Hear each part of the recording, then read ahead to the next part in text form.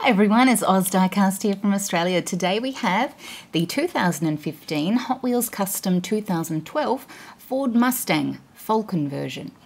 As the name suggests, this casting first came out in 2012.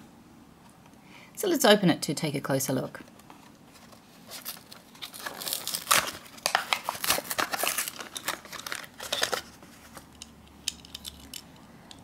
So it's a nice blue colour with turquoise stripes on the roof, bonnet and sides.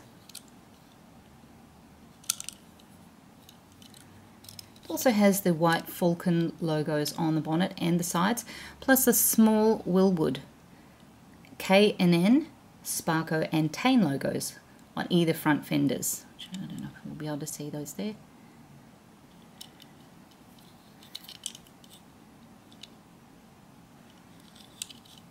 There's a black interior and white MC5 wheels.